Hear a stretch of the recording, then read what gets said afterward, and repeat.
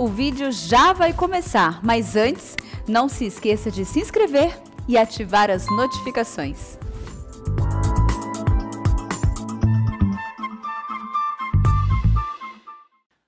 Sejam bem-vindos, meus irmãos. Nós estamos iniciando hoje aqui na Igreja Pretende de Pinheiros o ano letivo da nossa escola dominical. Aqui no templo, nós temos a classe de adultos, uma das classes, parece-me que são sete classes de adultos, ou oito, e todas as classes vão estudar os livros da Bíblia. Aqui, nessa classe, eu e o pastor Hernandes, o pastor Hernandes ministra a aula sobre o livro dos Salmos, fará a exposição do livro dos Salmos, e eu vou fazer a exposição do livro de Êxodo. Eu sou meio da teologia da libertação, entendeu? Então, eu, eu, eu gosto de, de, de, mais fumaça, mais briga, né? Então, e abra sua Bíblia, por favor. Eu quero avisar você o seguinte: eu não uso data show, esse negócio, porque eu sou muito matuto. Certo? Eu acho que se Deus quisesse usar slide, esse negócio, Bill Gates tinha nascido na época de Moisés, que já vinha tudo pronto. Já vinha tudo resolvido. Mas não. A gente tem que ler, tem que estudar, tem que decorar. Essa geração do audiovisual está tá emburrecendo, tá? Na minha época, tinha que decorar a tabuada. E tinha a professora com a palmatória. Era um regime ditatorial. E a gente tinha que decorar duas vezes uma, duas, duas vezes duas, quatro, duas vezes três, seis e tal. Aí vinha de trás para frente. Tem muita gente, pastor, já li a Bíblia 30 vezes. E aí? Tem que ler e meditar, tem que estudar a palavra. Tem que viver a palavra. Bem-aventurados que ouvem, bem-aventurados que leem, bem-aventurados aqueles que obedecem. Amém? Então, você anota aí, tá? Vai anotando o que você achar que é bom. É, pelos, pelos coordenadores, eu tenho nove aulas para fazer a exposição de Êxodo. Hoje eu vou fazer aqui a aula introdutória dando assim aqueles pontos fundamentais do livro. Tá certo?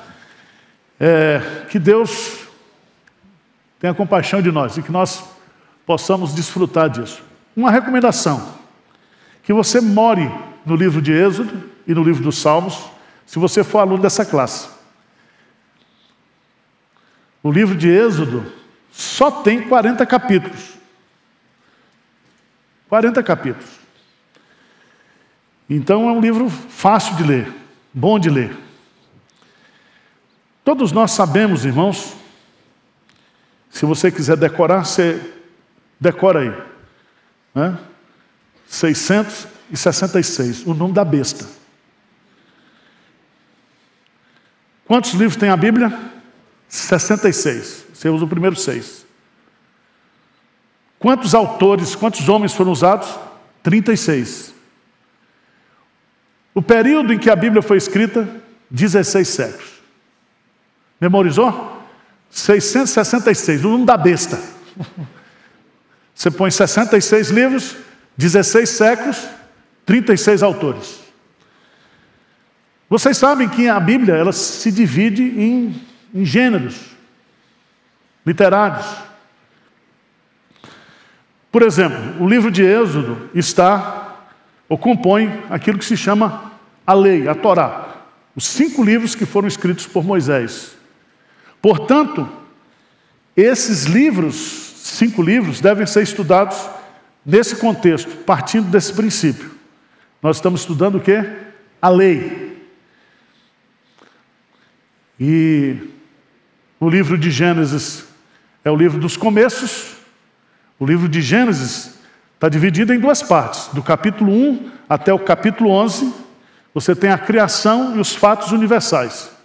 Do capítulo 12 até o capítulo 50, você tem o início da formação da igreja, historicamente falando. Capítulo 12 de Gênesis é quando Deus chama Abraão e faz com ele e revela para ele a aliança da graça. Tá certo?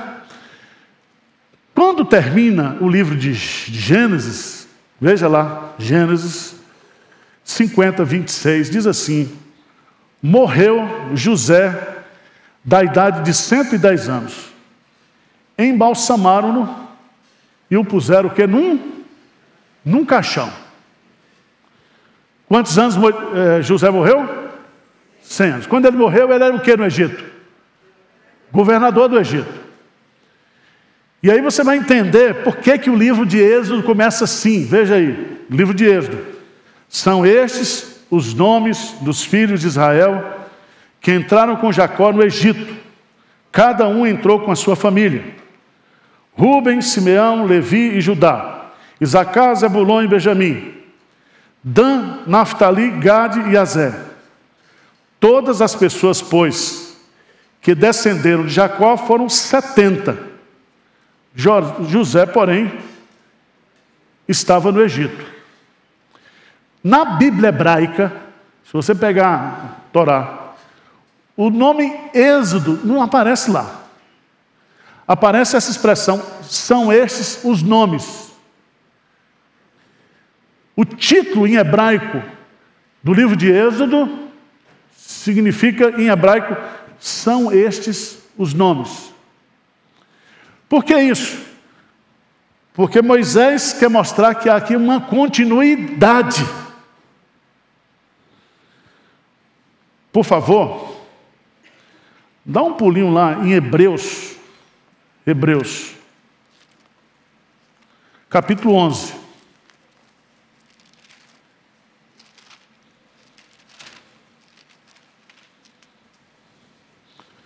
Veja, por favor, o versículo 22.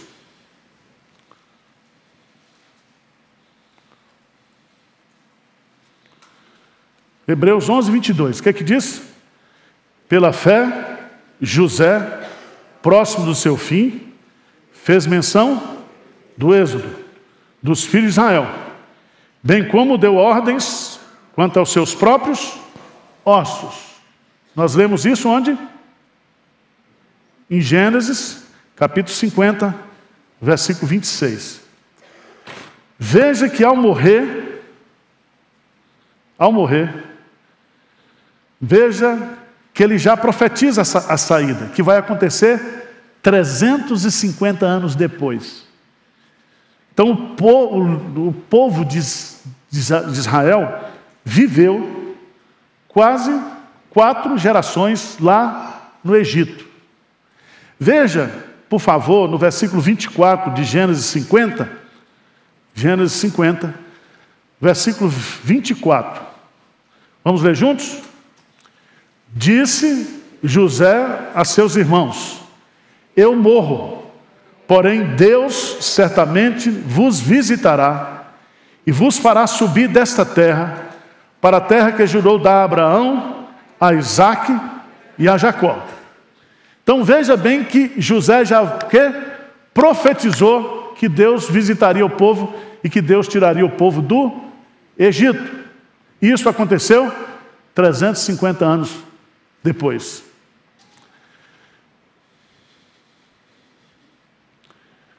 No terceiro século antes de Cristo, na cidade de Alexandria, o texto do Antigo Testamento foi traduzido para a língua grega. Por isso que tem uma se chama essa versão e foi feito depois do Novo Testamento que foi escrito em grego, mas a Bíblia toda em hebraico. Nessa tradução feita pelos 70, foi que foi colocado esse nome o quê? Êxodo. Não foi Moisés que deu o nome. Foi na tradução, na Septuaginta. E é tão interessante você observar que Êxodo significa justamente saída. A saída do povo de Deus do Egito para a terra prometida. Guarda isso na sua cabeça. Tá certo? Quem foi o autor de Êxodo? Moisés. Dá um pulinho, por favor, em Êxodo 24, Êxodo 24, versículo 4.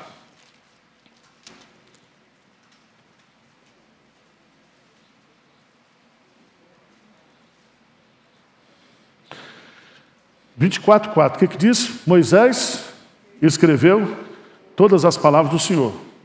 E tendo se levantado pela manhã de madrugada, erigiu um altar ao pé do monte e doze colunas, segundo as doze tribos de Israel. Vamos lá para Números, capítulo 33, versículo 2.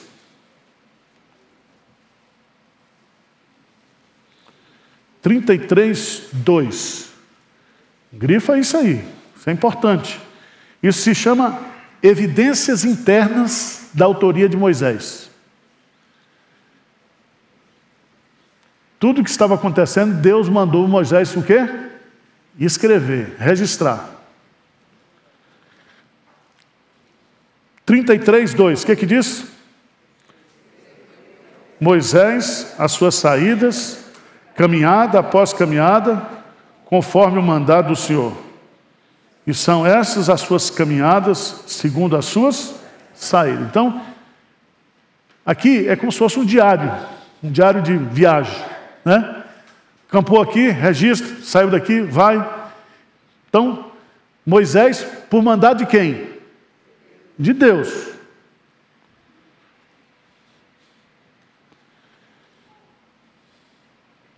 Esse livro foi escrito, provavelmente aqui são deduções históricas, entre os anos de 1445 antes de Cristo a 1405.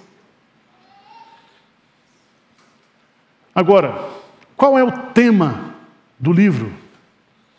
Se a gente fosse colocar um tema, qual é o tema que nós colocaríamos nesse livro? Eu vou seguir um dos comentaristas, o Isby, ele diz assim: que o tema do livro de Êxodo é Deus nos liberta para que possamos lhe servir. Deus nos liberta para que lhe possamos, para que possamos lhe servir. Qual é o versículo chave, verso chave, para você entender a mensagem do livro? Veja aí, Êxodo capítulo 6, Êxodo 6, versos de 6 a 8. É língua estranha aí, minha irmã?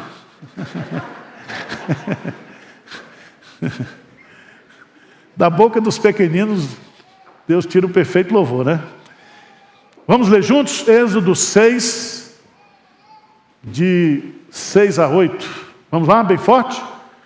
Porque dize aos filhos de Israel: Eu sou o Senhor, e vos tirarei de debaixo das cargas do Egito, e vos livrarei da sua servidão, e vos resgatarei com braço estendido e com grandes manifestações de julgamento. Tomar-vos-ei por meu povo, e serei vosso Deus, e sabereis que eu sou o Senhor vosso Deus, que vos tiro de debaixo das cargas do Egito, e vos levarei à terra, a qual jurei dar a Abraão, a Isaque e a Jacó, e vos-la darei como possessão, eu sou o Senhor.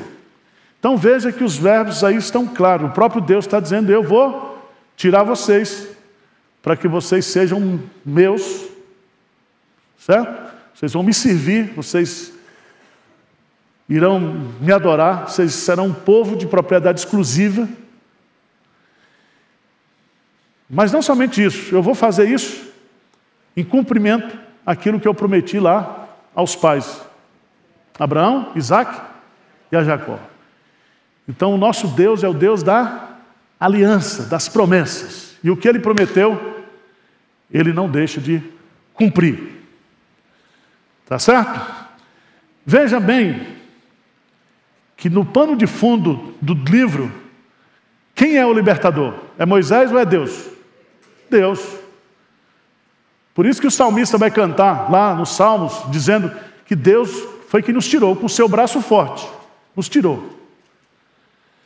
Então, Deus pode usar pessoas como instrumentos, mas a ação soberana é dele. Irmãos, qual é o capítulo-chave? Aqui nós temos um versículo-chave. Capítulo-chave. A turma gosta de brigar com isso. Eu não tenho problema nenhum. Eu acho que o capítulo-chave do livro de Moisés, do, do livro de Êxodo, é o capítulo 12. Capítulo 12. O que, que acontece nesse capítulo? É a instituição da Páscoa e a décima praga, com a morte dos primogênitos, que consequentemente gera o quê?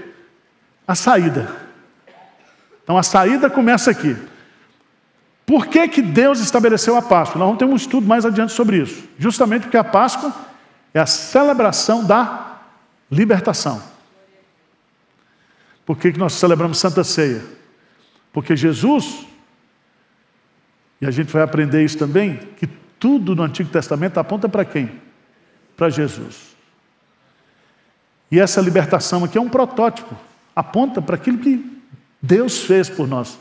Ele mesmo desceu em Jesus Cristo para nos livrar do poder de Satanás, da escravidão do pecado, da morte e da morte eterna. Ele nos libertou. Tá certo? Então, é, grife esse, esse, esse capítulo. Leia esse capítulo, para você entender. Então, do capítulo 12 para trás é uma coisa. A partir do capítulo 12 para frente é outra coisa. Certo?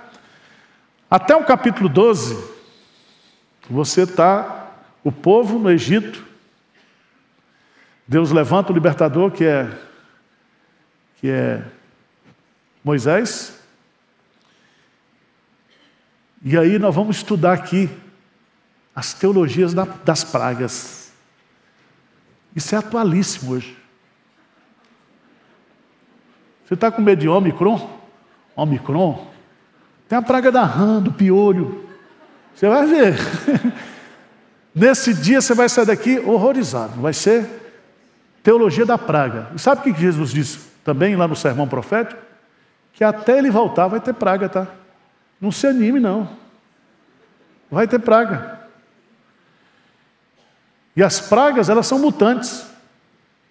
E você vai descobrir que quem manda praga na Bíblia, sabe quem é? É Deus. Então não compreender isso. Eu já preguei um sermão Estudei esse assunto, teologia das pragas. Não é você que pragueja, não. é Deus que manda praga. Mas vamos lá. A menor divisão do capítulo 1 até o capítulo 18, nós temos a redenção. 1 a 18 a redenção. No capítulo 19 a 24, você tem aliança. Redenção, aliança. Na redenção, o Senhor liberta o seu povo. Termina no capítulo 18. Na aliança, o Senhor se apropria do seu povo. Ele faz aliança com Moisés, com o povo que a gente chama de antiga aliança. Do 25 ao 40, adoração. Adoração. Então, redenção, aliança, adoração. Do 25 a 40, Deus resolve o quê? Morar com o seu povo. 25 a 40, nós vamos estudar aqui a construção do tabernáculo e os incidentes envolvidos nessa construção. Mas veja como é que começa.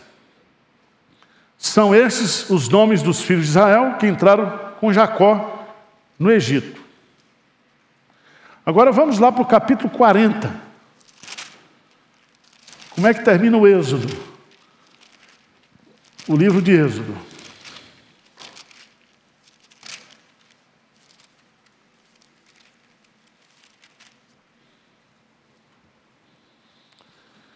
Último versículo. Êxodo 40, 38. O que, que diz? De dia, a nuvem do Senhor repousava sobre o tabernáculo, e de noite havia fogo nela, à vista de toda a casa de Israel, em todas as suas jornadas. Capítulo 40. Deus manda Moisés o quê? Levantar o tabernáculo. Quando ele termina de levantar e coloca todos os utensílios lá, existe uma manifestação da presença de Deus. Aquilo que em hebraico se chama Shekinah. A glória de Deus veio. E você vai descobrir que quando Moisés vai construir o tabernáculo, primeiro, ele constrói seguindo o projeto de Deus. Deus foi o arquiteto. Segundo, a localização do tabernáculo. O tabernáculo ficava no centro. E todas as tendas das famílias de Israel no entorno. O centro ficava o quê? O tabernáculo. Então Deus, que tira o povo do Egito, que faz uma aliança com esse povo, vem o que? Morar agora no meio deste povo. Isso aponta para quê? Para Jesus. E o Verbo se fez carne e habitou entre nós, e tabernaculou entre nós. E vimos a sua glória. Não a glória no fogo, na nuvem, mas a glória na face de Cristo. Ele é a verdadeira expressão do esplendor da glória de Deus. A manifestação exata do ser de Deus é Cristo. Vocês estão entendendo ou não? Se tiver chato, vocês falam, tá? Aqui é uma democracia socialista, comunista. Mas vamos lá. Quais são os temas teológicos do livro de Êxodo? Isso é importante a gente entender. Porque depois nós vamos entrar na narrativa. Aí nós vamos pegar. Eu vou selecionar alguns textos para a gente trabalhar. Mas você precisa ter uma compreensão do livro, do todo. Quantos capítulos tem? 40. Qual é o capítulo principal? O 12. Qual o versículo? 6. 6 a 8. O tema qual é? Deus liberta o seu povo para que ele possa o quê? Lhe servir.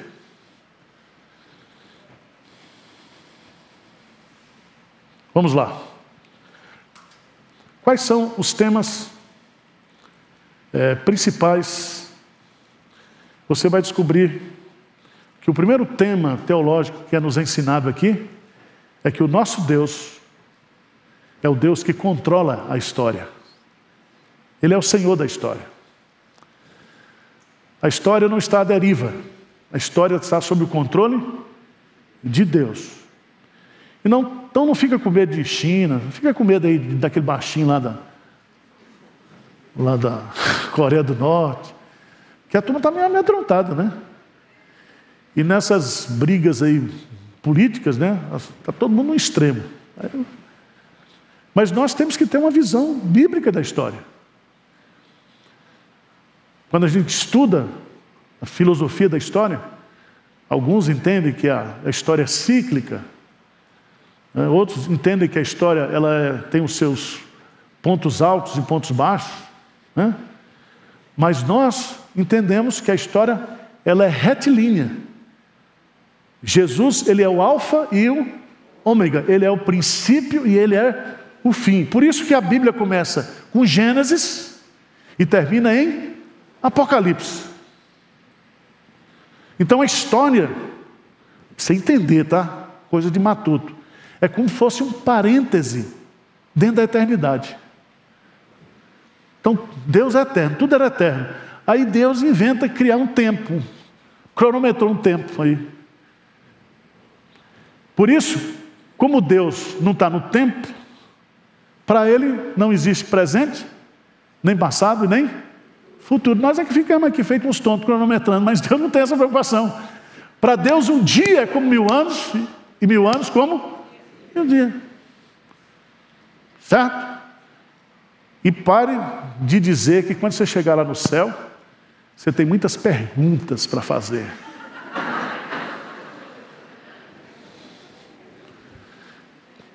Quem foi a mulher de Caim? Vai preocupar com tua mulher, rapaz. Deixa a vida da mulher dos outros.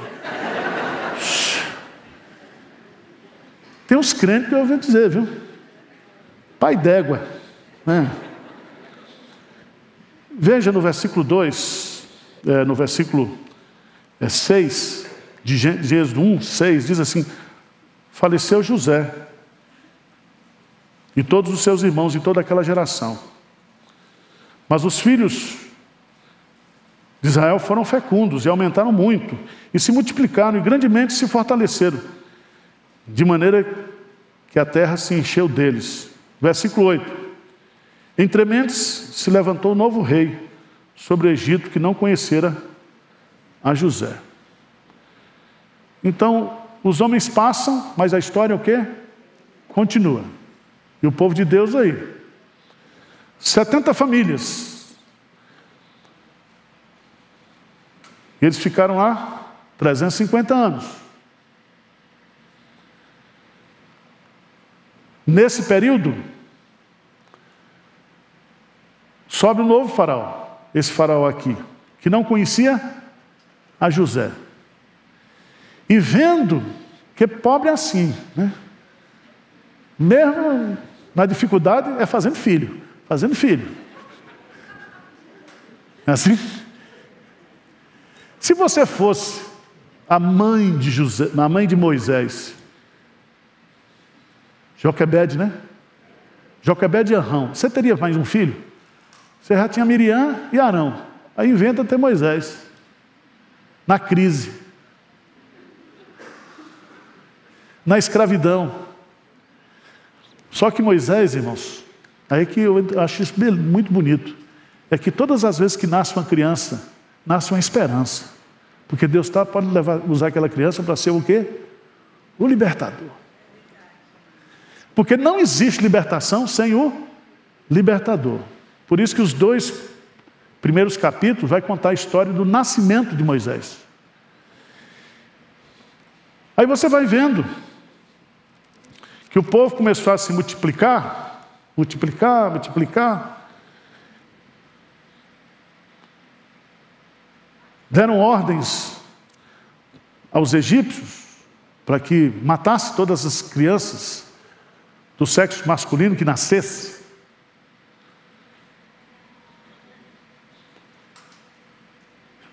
Não conseguiram fazer isso. Sabe o que, que o rei fez? Foi lá e disse para as parteiras: todos que nasceram o quê? Torce o pescoço, mata. Sabe quem intervém? Hein? Veja lá no capítulo 1, versículo 17. As parteiras, porém, temeram a Deus e não fizeram como lhes ordenaram o rei do Egito. Antes, deixaram antes obedecer a Deus do que aos, aos homens. Mas o que é bonito aqui Veja no versículo 20. O que, é que diz lá? E Deus fez bem as parteiras, e o povo aumentou e se tornou muito forte. E porque as parteiras temeram a Deus, ele lhes constituiu o quê? Família. Quem é que está no controle? Deus. Deus não tem o que fazer não para ir conversar com parteira? Você vê que Deus ele está nos detalhes da nossa vida. Quem nasceu de parteira aqui? Só eu? Ah, nasceu também? E o pior, eu nasci, eu não era crente, sabe? E a única parteira que tinha na cidade era da igreja batista. Então eu, presbiteriano, nasci na mão de uma batista.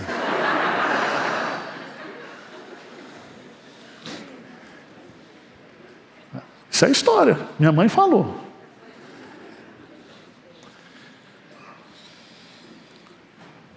Veja no capítulo 3, versículo 8.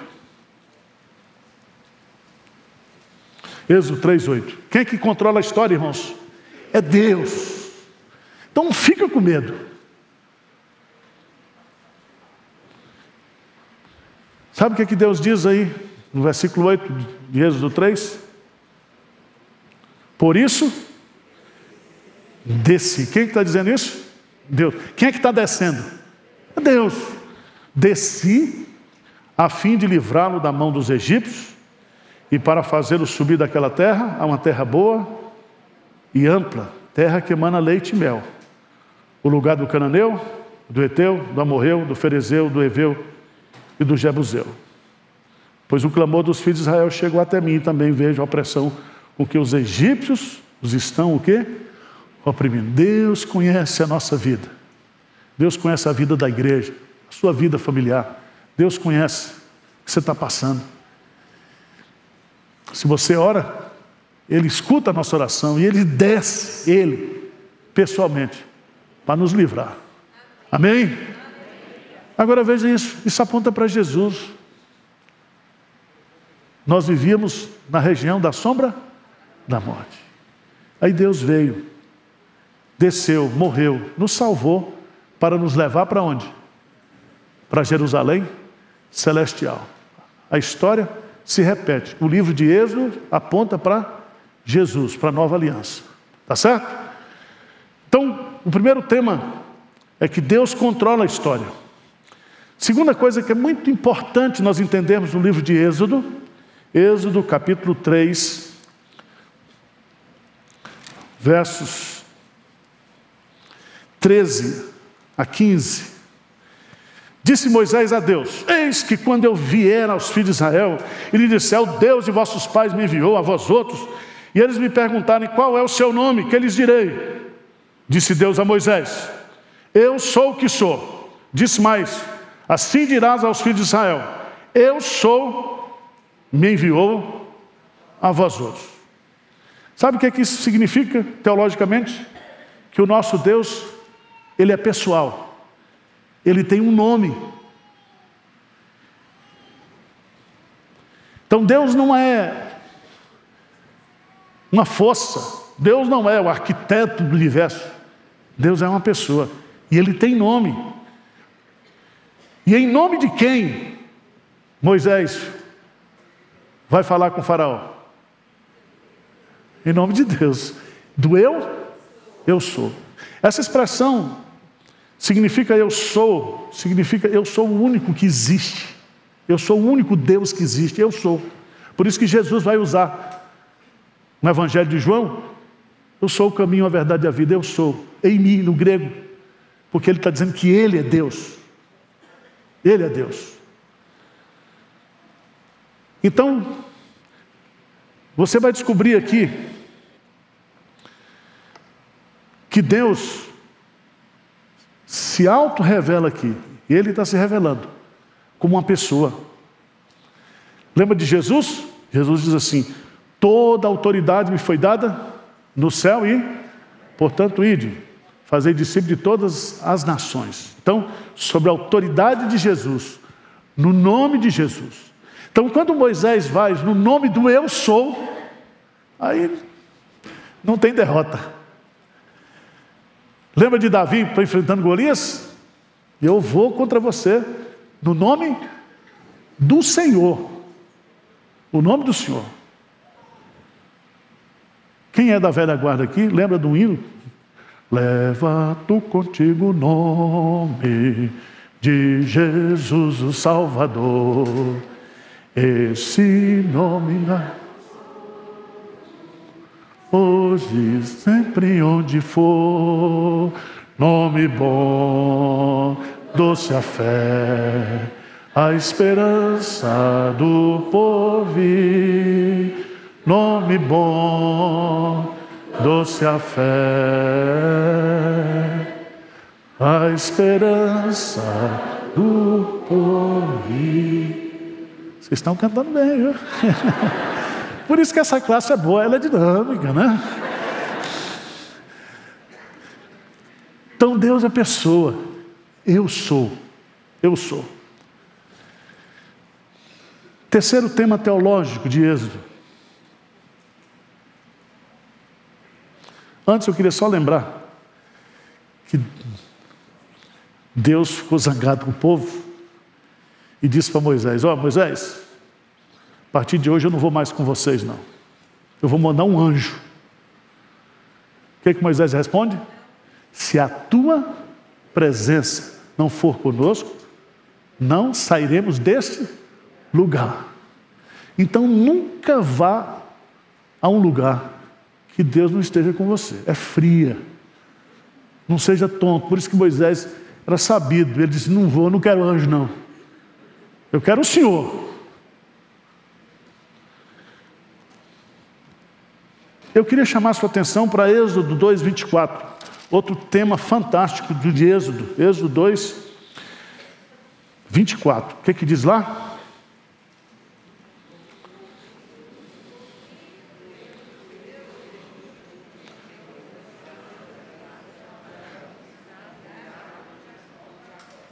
Vamos ler juntos, bem forte.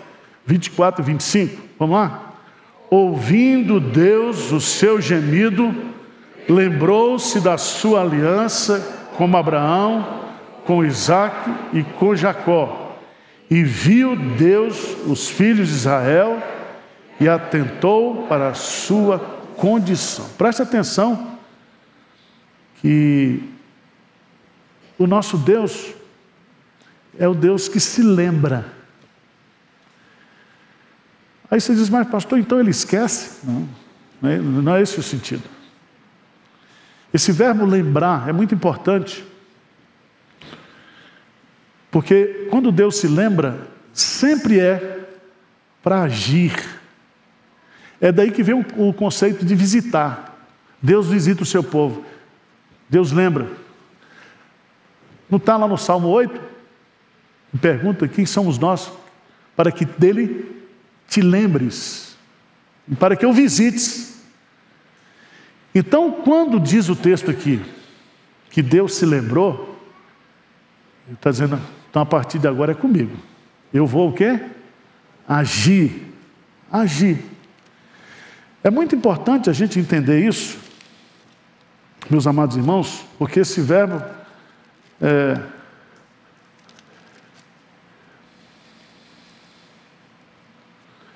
Veja lá Gênesis 21, versículo 1.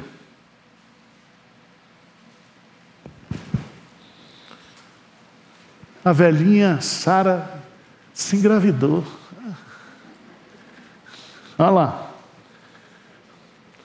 Gênesis 21, 1. O que é que diz? Visitou o Senhor a Sara, como lhe dissera e o Senhor cumpriu o que lhe havia. Sara concebeu e deu à luz a um filho, Abraão, na sua velhice, no tempo determinado de que Deus o quê? Lhe falara. Deus vem nos visitar na hora certa. Na hora certa. Nem antes nem depois. Ele nunca chega atrasado. Então, é muito bom quando você estuda Êxodo, você fica encantado, sabe o quê? Porque Deus, Ele, ele pensa na gente, Ele vê o nosso sofrimento, Ele escuta as nossas orações, Ele faz a gente crescer na desgraça, no sofrimento. Por isso que crente só cresce quando apanha. É de surra em surra a gente vai andando. vai andando. No sufoco. Na luta. E é muito bonito você entender o livro de Êxodo dentro dessa perspectiva, do Deus que controla a história, do Deus que é pessoal, do Deus que se lembra. Mas há também aqui o Deus que é juiz, que julga retamente aqueles que praticam o mal. Deus vai então, depois de 350 anos, Deus vai livrar o seu povo e vai punir o Egito e vai punir a Faraó do Egito. E a gente precisa entender isso. Eu não sou juiz, você não é juiz, Deus é o juiz. E ele diz: A mim me pertence o quê? A vingança. Por isso não vos vingueis uns aos outros, né? A vingança pertence a Deus. E Deus sabe fazer tudo na hora certa. Né? É, quando Deus tira o povo do Egito, a lógica da geografia era que ele fosse por um caminho mais curto, mas Deus levou para um caminho mais difícil. E Deus levou o povo de Israel para uma rua sem saída.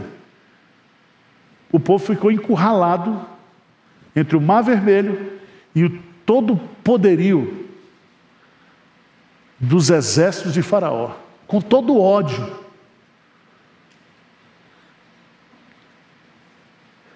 Mas às vezes, aquilo que para nós é uma porta sem saída, Deus abre uma porta, né? Que, que Deus faz? Deus abre o mar. O povo passa a pé enxuto. Depois que o povo passa, o exército faraó entra. E aí Deus o quê? Fecha. E aí ele o quê? Mata, ele destrói todo o exército de faraó. Antes disso, vocês sabem, essa é uma das razões das pragas, as dez pragas do Egito, Deus destruiu os dez ídolos dos egípcios. Sabe por que Deus mandou essa pandemia aí? para destruir os nossos ídolos. O ídolo da ciência, o ídolo da, do conhecimento, o ídolo econômico. Deus só mandou um vírus. Então, toma cuidado, nós temos que olhar para a história na perspectiva de que Deus, Ele tem um controle, Ele é o juiz supremo. Ele é o juiz supremo. Depois, irmãos, Outra lição que a gente aprende aqui no livro de Êxodo: Deus controla a história, Deus é pessoal, Deus se lembra e age. O compromisso que ele tem com a aliança. Deus é juiz que julga. A ira de Deus só pode ser evitada pelo sacrifício e pela ação intercessória. Jesus Cristo, Ele é o nosso Cordeiro Pascal. Ele aplacou a ira de Deus sobre mim e sobre você. E sabe o que Ele faz por mim e por você? Ele intercede por nós à direita de Deus Pai. Nós somos salvos da ira por causa do sacrifício de Cristo. O castigo que nos traz a paz foi derramado sobre ele. Se Deus fosse nos julgar, seríamos consumidos. Mas vamos lá. Nós aprendemos também em Gênesis, em Êxodo 3, né? De 1 a 6, que Deus fala, né?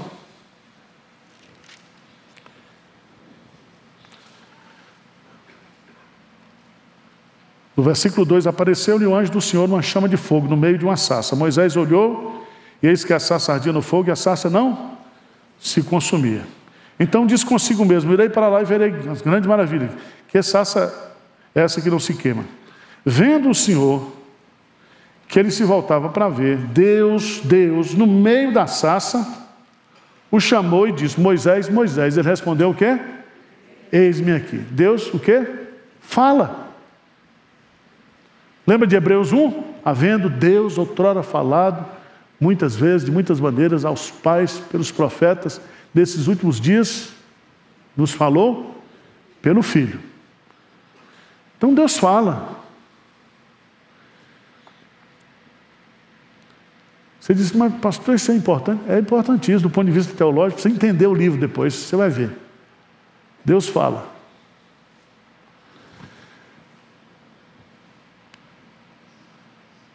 Trinta e três, vinte.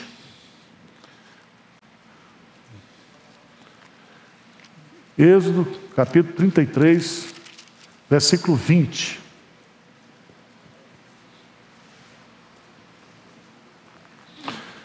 Moisés roga a Deus que lhe mostre o que é a sua glória, sua face.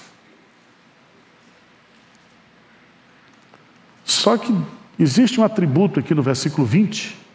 Ele diz: Quando passar a minha glória, eu te porei numa fenda da penha, e com a mão te cobrirei, até que eu tenha o quê? Passado. Sabe o que significa isso? É que Deus,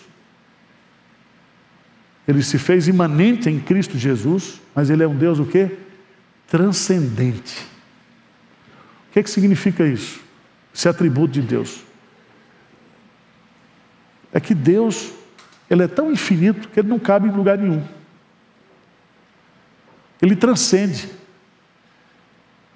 Ele está aqui, Ele está em cada centímetro do universo, Ele está no céu, sentado no trono.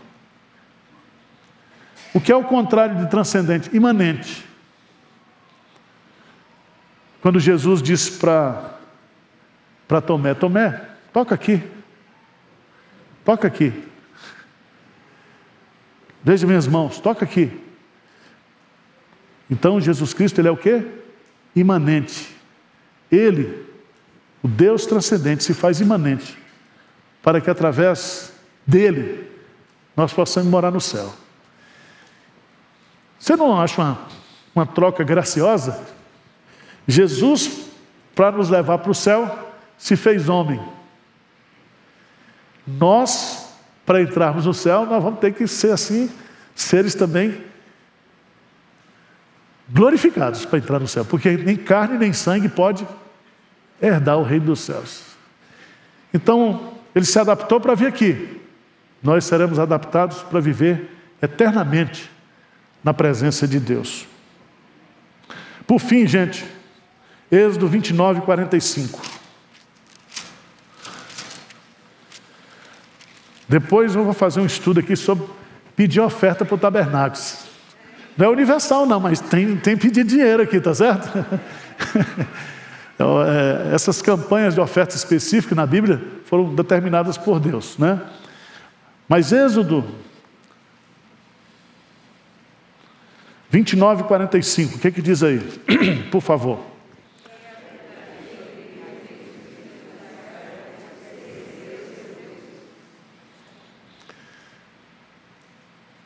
Isso aqui os teólogos chamam, os comentaristas, de a teologia da presença de Deus. Deus presente que mora com o seu povo. Então eu e você, nós somos santuários do Espírito Santo. Deus habita em nós. Deus habita conosco. Entenderam? Ele vai habitar num, num tabernáculo, depois num templo. Depois ele vem habitar em Cristo. E agora ele habita em nós através do Espírito Santo. Nós somos o que? Santuário do Deus vivo, verdadeiro. Irmãos, quero levar você um pouquinho para o texto de Êxodo capítulo 20. Vocês sabem, é o texto onde Deus dá os dez mandamentos. Depois nós vamos fazer um estudo sobre isso. Mas só queria mostrar para você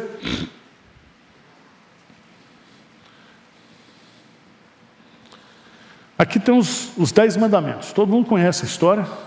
Então falou Deus todas essas palavras: Eu sou o Senhor teu Deus, que te tirei da terra do Egito, da casa da servidão. E aí vem os dez mandamentos.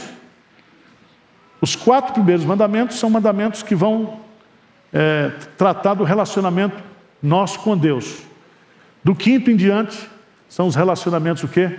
Sociais. Certo? Mas é importante a gente entender, é, voltando um pouquinho para o capítulo 19,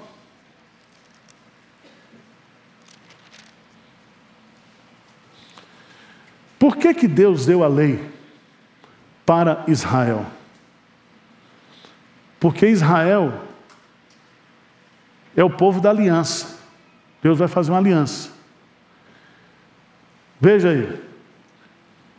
Capítulo 19, no terceiro mês da saída dos filhos de Israel da terra do Egito, no primeiro dia desse mês vieram ao deserto do Sinai.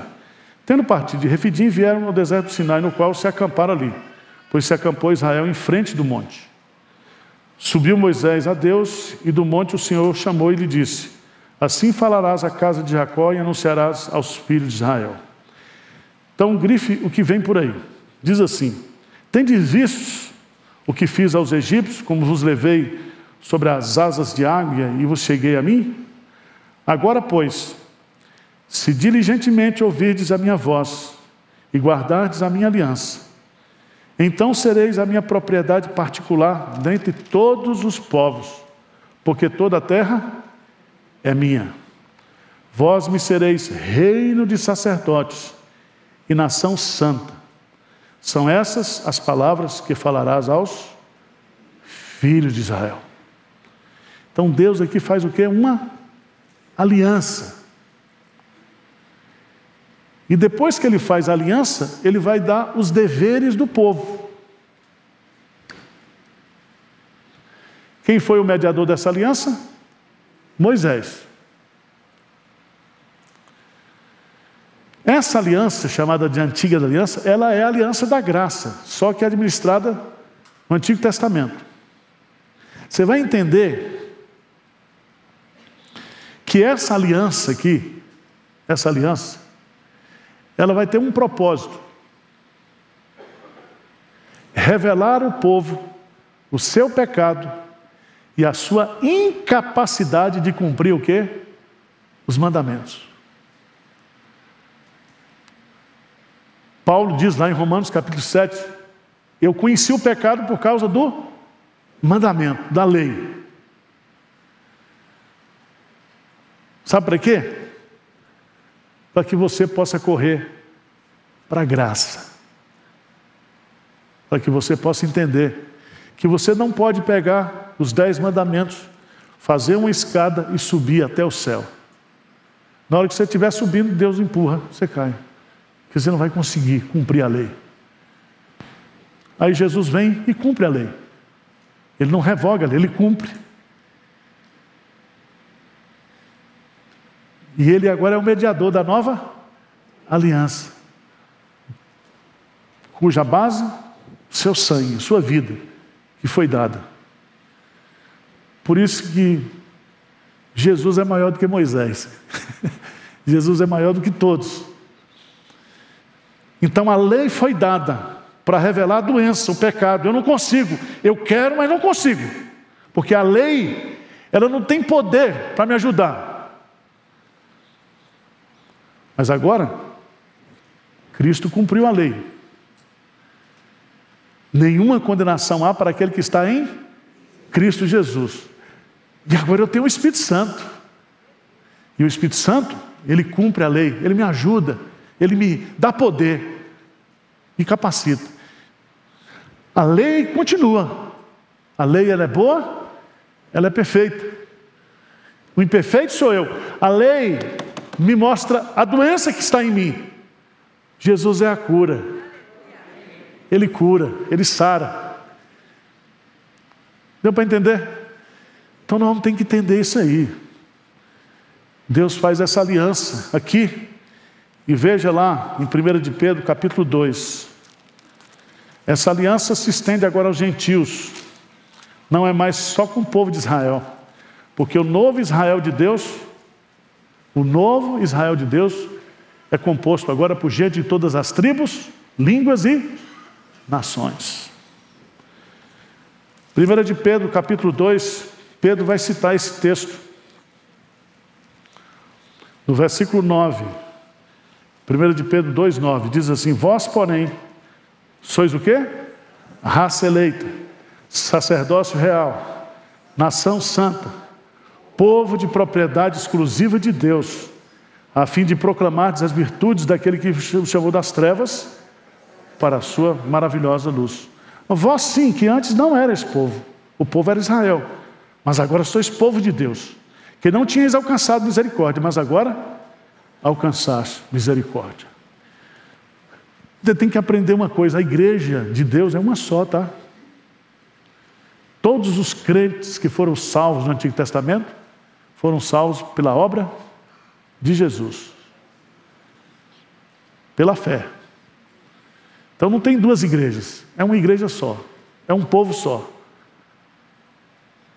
O povo de Israel falhou, mas Deus, na sua condescendência, Ele abre então, já estava no plano dele, incluir-nos, né, como gentios, para fazermos parte dessa aliança maravilhosa. Tudo bem? Deu para entender umas coisinhas aí? Então lê o livro. Lê o livro essa semana. Certo? E outra coisa, compra a Bíblia Hebron. Porque tem um negócio para você ir anotando, né? Vai anotando do lado, anotando. É, quem tem tablet também faz aí, risca, rabisca. Né? Mas isso aí é só para gente que tem chip, não, não tem para essas coisas. Então, tá bom? E vou fazer o seguinte, para não. Porque o negócio é ao vivo, né? Transmite aqui. Depois, se você tiver alguma pergunta, você escreve e me dá, que eu respondo na semana que vem. Mas pergunta fácil, tá? Pergunta difícil, manda para o cientista ali, para os universitários, né? tá bom, gente? Vamos ficar de pé, vamos orar e vamos nos preparar para o culto das onze.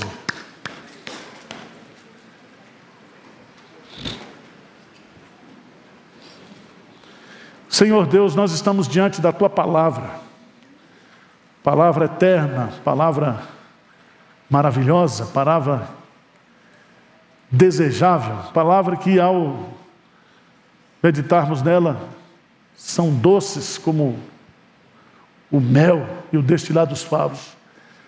Palavra que nos nutre, que nos alimenta, que nos enche de esperança. E ó Deus, o Senhor é incomparável. Servir ao Senhor, adorar ao Senhor, é o maior privilégio que nós temos nessa vida. E continuaremos tendo na eternidade. Abre os olhos, abre os nossos ouvidos espirituais.